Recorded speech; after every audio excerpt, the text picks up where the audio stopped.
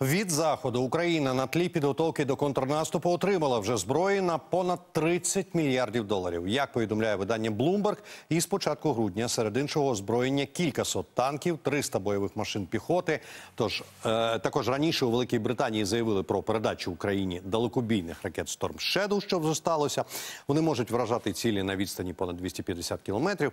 І офіційний Лондон зазначив, що Україна вже отримала всі обіцяні танки Challenger 2 Деякі з них нагадаю мають е, снаряди зі збідненим ураном.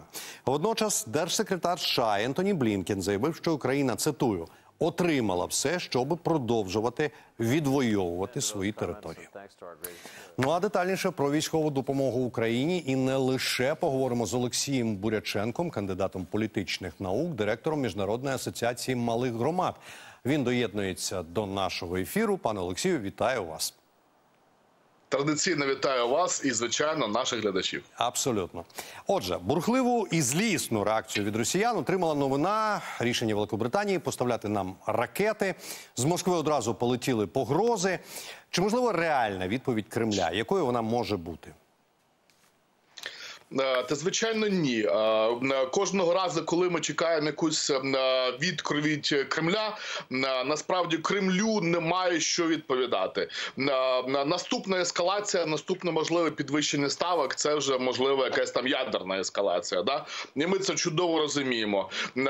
Путін настільки вже використав всі свої інструменти для підвищення ставок, що в нього і нічого не залишилось, і в принципі це дуже добре. Ну скільки можна е, да брати е, півроку Солидар, е, більше дев'яти місяців намагатися продвигатись по Бахмуту і так і не досягти успіху. Ну тобто, про яку відповідь насправді може йти мова, якщо вони навіть на 9 травня вдарили по нас ракетами та безпілотниками, і в принципі збройні сили України там на 80% е, всі ці ракети позбивали, чи на 90 навіть. Тобто, насправді я е, не думаю, що е, є взагалі чим Путіну на це відповісти. А для нас да для нас це дуже позитивна новина, оскільки е, це дійсно відкриває для нас можливості отримання далекобійної зброї і артилерійської, е, і відповідно ракетної. Ну, перш за все, звичайно, мова йде про атакамс, е, навколо яких точиться відповідно е, вже досить давно дискусії. А якщо буде в Україні і атакамс, то вже всім абсолютно стане очевидним і зрозумілим, що і F-16 ми також м, найближчим часом отримаємо. Ну і от е, піонером стала Велика Британія, і вона не вперше задає стандарти підтримки України. А чим обумовлена, на вашу думку, така позиція? І чи збережеться і далі цей, ну так би мовити, консенсус еліт в країні? Ну, Британія традиційно нас підтримувала. Я хочу нагадати ще на позицію Бориса Джонсона, що до повномасштабного нападу на Російської Федерації на Україну, тоді коли він офіційно пропонував навіть військово-політичний союз на Україні разом з Британією, країнами Балтії, Польщі і за стратегічного партнерства Туреччини. На, Вот такий регіональний свого роду військовий союз. Ну звичайно, під е, на, протекторатом та підтримки Сполучених Штатів Америки. Це абсолютно на, очевидно і зрозуміло. Вот. Ну і звичайно, Британія вона більш динамічна в прийняття своїх рішень, тому вона може підштовхувати і Сполучені Штати бути більш рішучими, що вона завжди до речі робила. Да? Ну і звичайно, країни Європейського союзу, яких бюрократія все одно займає дуже багато часу. Ми ж пам'ятаємо, як це було на прикладі тих самих леопардів. А до цього ми отримали і челенджери від Британії, і вже навіть м, Абрамси від Сполучених Штатів. Якраз у мене от просто зараз ваш коментар відкрито про інтерв'ю Андрія Єрмака для ЗМІ Азербайджану та Узбекистану. І ця е, це інтерв'ю, цей матеріал викликав бурхливу реакцію в Русі. Руйнування сталих міфів для Кремля вкрай невигідно. Чого найбільше боїться Москва? Москва боїться втратити свої стратегічні пріоритети. Це абсолютно очевидно, тому що за рахунок створення зарих сірих зон, за рахунок створення конфліктів, Росія завжди намагалася вчиняти геополітичний тиск на країни на інші країни. По суті, це і середня Азія, це і близький схід, це звичайно традиційно ще з радянських часів Африка та Латинська. Америка.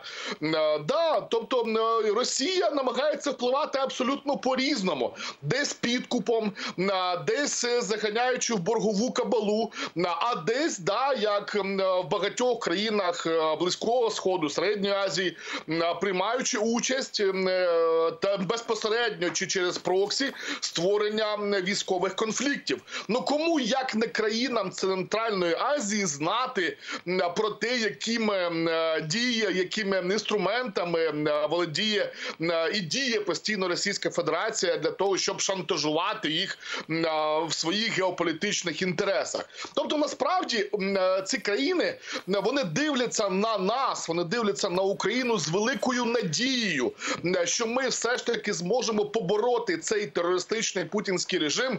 От і що ця країна терору перестане постійно на них тиснути і впливати на їхні геополітичні геополітичні пріоритети.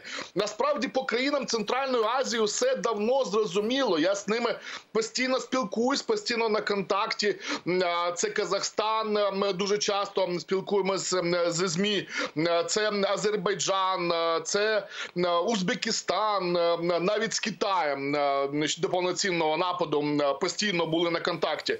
От і я вам хочу сказати, що вони звичайно ж більше симпатизують, коли їм пропонують пропонують, коли їх садять за стіл перемовин як рівноцінних партнерів, а не відповідно одразу визначаючи, що Росія завжди права, і в будь-якому випадку, якщо вона не права, то читати пункт перший. Ну от і вона зробить нагірний Карабах, вона зробить Вірменію, вона зробить Донбас, Крим, вона зробить. Е, Придністров'я, тобто вона цим шантажом, військовим шантажом завжди ну насправді е, добувається е, якихось своїх геополітичних цілей. Андрій Єрмак написав дуже круту статтю, і от я навіть мені писали з тих країн, і вони кажуть: ми розділяємо багато позицій, які транслює Україна на дипломатичному фронті, про які пише голова президента президенту у своїй статті, і ми підтримуємо Україну в вашій боротьбі з агресором. Про це свідчить і допомога, і політична, і економічна, і голосування в генасамблеї ООН за резолюції на користь України і проти Російської Федерації. Тобто, ми розуміємо, що звичайно ж центральну Азію Росія втрачає. От і наша насправді велика стратегічна мета для того, щоб долучити ці країни до нашого партнерства економічного, політичного, а потім відповідно і до відбудови України, і до налагодження стратегічних взаємовідносин вже в нашому майбутньому. Угу.